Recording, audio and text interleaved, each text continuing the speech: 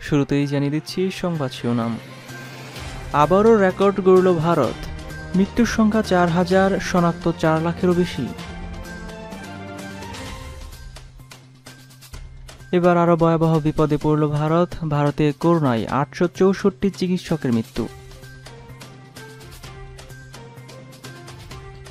সব রাজ্যকে বিনামূল্যে টিকা দিতে হবে। কেন্দ্রের বিরুদ্ধে সুপ্রিম কোর্ট। আরও বিপদে মোদী সরকার। চীনা টিকার জরুরি অনুমোদন দিল বিশ্ব স্বাস্থ্য সংস্থা।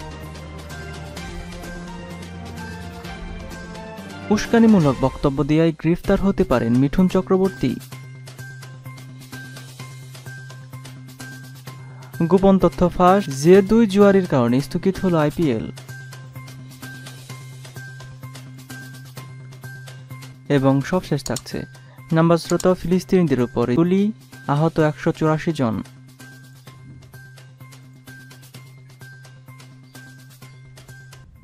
এতক্ষণ শুনছিলেন সংবাদ শিরোনাম, এবার চলুন বিস্তারিত জানা যাক।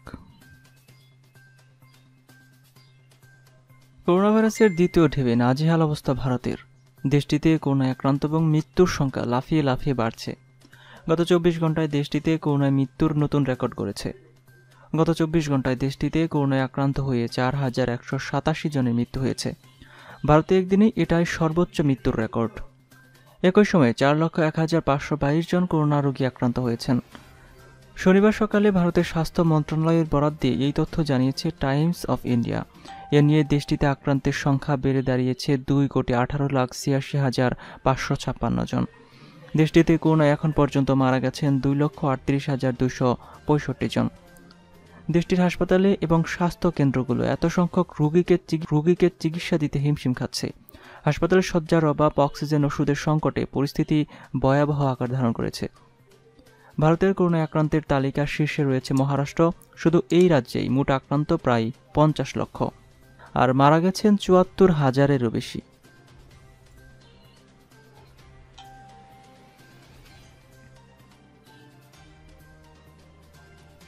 মহামারী করোনায় ভারতে এখন পর্যন্ত আটশো চৌষট্টি চিকিৎসকের মৃত্যু হয়েছে। ইন্ডিয়ান মেডিকেল অ্যাসোসিয়েশনের তথ্য অনুযায়ী, গতকাল শুক্রবার পর্যন্ত আটশো চৌষট্টি জন চিকিৎসক করোনায় মারা গেছেন। এর মধ্যে গত বছর মারা গেছেন সাতশো ছত্রিশ জন। চলতি বছর এপ্রিল পর্যন্ত মারা গেছেন আরও একশো আঠাশ জন চিকিৎসক। মহারাষ্ট্রে করোনায় আক্রান্তের সংখ্যা শুরু থেকেই বেশি। সেখানে চিকিৎসকের মৃত্যুর হারও সবচেয়ে বেশি। আইএম এর হিসেব অনুযায়ী মহারাষ্ট্রে এখন পর্যন্ত একশো আটষট্টি জন চিকিৎসক মারা গেছেন। শুধু এপ্রিলেই চৌত্রিশ জন মৃত্যু হয়েছে। তামিলনাড়ুতে উনাশি জন, তামিলনাড়ুতে উনাশি জন আর পশ্চিমবঙ্গে আশি জন চিকিৎসক মারা গেছেন। মহারাষ্ট্রের স্বাস্থ্য বিভাগ জানিয়েছে, এই রাজ্যে সতেরো হাজার নয়শো পঁচাত্তর জন স্বাস্থ্যকর্মী করোনায় আক্রান্ত হয়েছেন। তাদের মধ্যে এগারো হাজার দুশো পঁচিশ জন সরকারি হাসপাতালের আর ছয় হাজার সাতশো চল্লিশ জন বেসরকারি প্রতিষ্ঠানের। জানা গেছে, মহারাষ্ট্রে এখন পর্যন্ত আঠারো হাজার চিকিৎসক করোনায় সংক্রমিত হয়েছেন। মহারাষ্ট্রে বহু নার্স করোনায় আক্রান্ত হয়েছেন। স্বাস্থ্য বিভাগের পরিসংখ্যান অনুযায়ী এই সংখ্যা চার হাজার দুইশো সতেরো জন।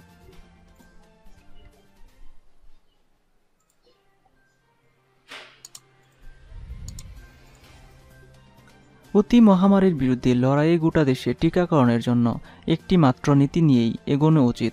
প্রত্যেক রাজ্যকেই বিনামূল্যে টিকা দিতে হবে। এই দাবিতে সুপ্রিম কোর্ট পিটিশন দায়ের করল পশ্চিমবঙ্গ রাজ্য সরকার।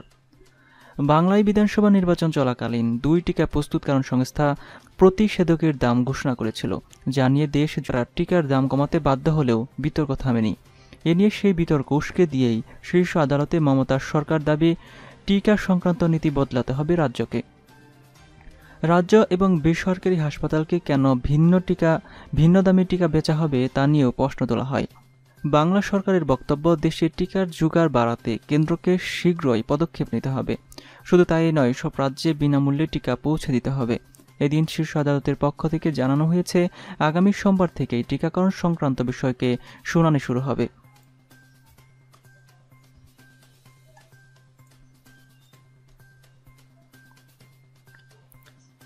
জরুরি ব্যবহারের জন্য চীনের রাষ্ট্রীয় মালিকানাধীন ওষুধ প্রস্তুতকারী প্রতিষ্ঠান সিনোফার্মের করোনা ভাইরাস প্রতিষেধক টিকার অনুমোদন দিয়েছে বিশ্ব স্বাস্থ্য সংস্থা। করোনার উৎপত্তি স্থল চীনে উদ্ভাবিত দুটি টিকার মধ্যে এটি প্রথম, বিশ্ব স্বাস্থ্য সংস্থা অনুমোদন পেল।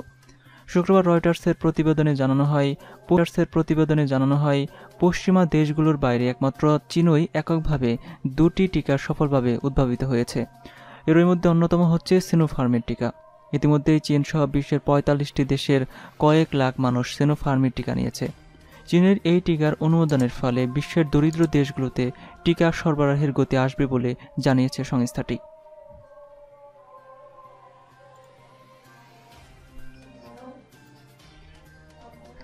সম্প্রতি হয়ে যাওয়া নির্বাচনী সভায় উস্কানিমূলক বক্তব্য দেয়ায় মামলা দায়ের করা হয়েছে টলিউড অভিনেতা, বিজেপির নতুন নেতা মিঠুন চক্রবর্তী এবং বিজেপি রাজ্য সভাপতি দিলীপ ঘোষের নামে। তাদের বিরুদ্ধে মামলা দায়েরের পর গ্রেফতারের দাবি করেছে তৃণমূল কংগ্রেস। বৃহস্পতিবার কলকাতায় মানিকতলা থানায় মামলাটি দায়ের করেছে তৃণমূল সংগঠনের অঙ্গ সংগঠন। কিছুদিন আগে বিজেপির ব্রিগেড সমাবেশে আনুষ্ঠানিকভাবে বিজেপিতে যোগ দিয়েছিলেন মিঠুন চক্রবর্তী। সেখানেই বক্তৃতা করতে গিয়ে নিজের ছবির জনপ্রিয় সংলাপ উঠিয়েছিলেন মিঠুন। এফআইআরে বলা হয়েছে, মিঠুন ওই সংলাপ উত্তেজনা ছড়িয়েছে রাজ্যে। একজন তারকা হিসেবে প্রকাশ্যে মঞ্চে এই ধরনের সংলাপের ব্যবহার করে মিঠুন দায়িত্ব জ্ঞানহীন কাজ করেছেন বলেও অভিযোগ করা হয়েছে ওই এফআইআরে। এছাড়া বিজেপির সিনিয়র নেতা দিলীপ ঘোষ নির্বাচনী প্রচারণার ময়দানে জায়গায় জায়গায় শীতল খুচি বলে মন্তব্য করেছে। তার বিরুদ্ধে উস্কানিমূলক বক্তব্য করার অভিযোগ আনা হয়েছে তৃণমূলের পক্ষ থেকে।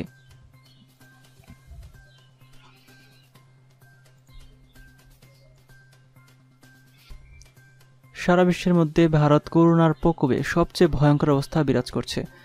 এর মধ্যে চলছিল ইন্ডিয়ান প্রিমিয়ার লিগ আইপিএল। তবে শেষ পর্যন্ত সংশ্লিষ্টদের মাঝেও ভাইরাসটি হানা দেয় ভারতের ক্রিকেট নিয়ন্ত্রণ বোর্ড স্থগিত করেছে বিখ্যাত এই ক্রিকেট আসর কিন্তু এই টুর্নামেন্টে জৈব সুরক্ষা বলয় ভেদ করে কীভাবে করোনা সংক্রমণ ছড়ালো তা এখনও সুনির্দিষ্ট করে বলতে পারেনি কেউ। এরই মধ্যে গুঞ্জন উঠেছে, জুয়ারিদের হাতেই হয়েছে এই স্থগিতাদেশের পিছনে। জৈব সুরক্ষা বলয় ভেদ করেছে দুই জুয়ারি। তারা ছদ্মনামে মাঠে প্রবেশ করে দলীয় গোপনীয় অনেক তথ্য ফাঁস করেছে বলে ইন্ডিয়া টুডের ইন্ডিয়া টুডের খবরে বলা হয়েছে।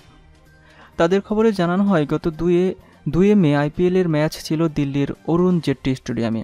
স্টেডিয়াম পরিষ্কার রাখার দায়িত্বে চল্লিশ জন কর্মীকে রেখেছিল Delhi and district cricket association.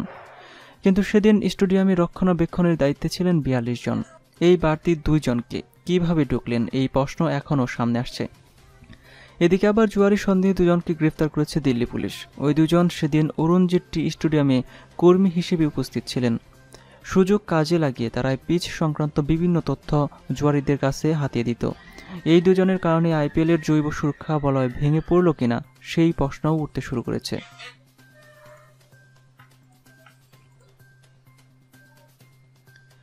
আলাক্সা মসজিদে নামাজের জন্য জড়ো হওয়া ফিলিস্তিনিদের উপর ভয়াবহ তাণ্ডব চালিয়ে, চালিয়েছে ইসরায়েলি সেনাবাহিনী। নির্বিচার গুলিতে আহত হয়েছেন অন্তত একশো চুরাশি জন ফিলিস্তিনি। তাদের মধ্যে অষ্টাশি জন গুরুতর অবস্থায় হাসপাতালে ভর্তি করা হয়েছে। ফিলিস্তিনি কর্তৃপক্ষ জানায়, শুক্রবার জুমাতুল বিদার পর থেকেই ইসরায়েলি দখলদারিত্বের প্রতিবাদ জানিয়ে বিক্ষোভ করা হয় শেখ জার্রাহ সহ পূর্ব জেরুজালেমের বিভিন্ন স্থানে। ইফতারের পর রমজানের বেজুর রাত্রিতে লাইলাতুল কদর সন্ধানে নামাজ আদায়ের জন্য আল আকসা মসজিদ প্রাঙ্গণে জড়ো হতে থাকেন ফিলিস্তিনিরা। এ সময় তাদের উপর হামলে পড়ে ইসরায়েলি সেনাবাহিনী, এমনকি নামাজরত, নামাজরতদের লক্ষ্য করে চালানো হয় গুলি। মসজিদ থেকে পিটিয়ে বের করে দেওয়া হয় অনেককে। সুরা হয় টিয়ারশেল বেশ কয়েকজন ফিলিস্তিনিকে আটক করা হয়েছে।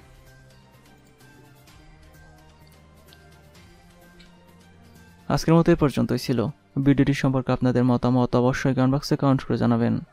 বিশ্বের সর্বশেষ নিউজ সবার আগে দেখে দেখতে আমাদের চ্যানেলটি সাবস্ক্রাইব করে পাশে থাকা বেল আইকনটিতে ক্লিক করে রাখুন। এতক্ষণ সাথে থাকার জন্য ধন্যবাদ সবাইকে।